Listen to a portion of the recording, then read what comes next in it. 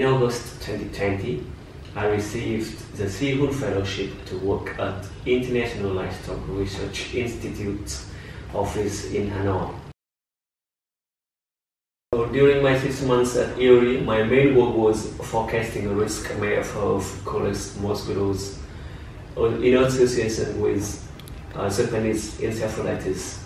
Also, I work with other uh, scientists on COVID-19 impact assessment survey on pork value chain in four different ASEAN countries.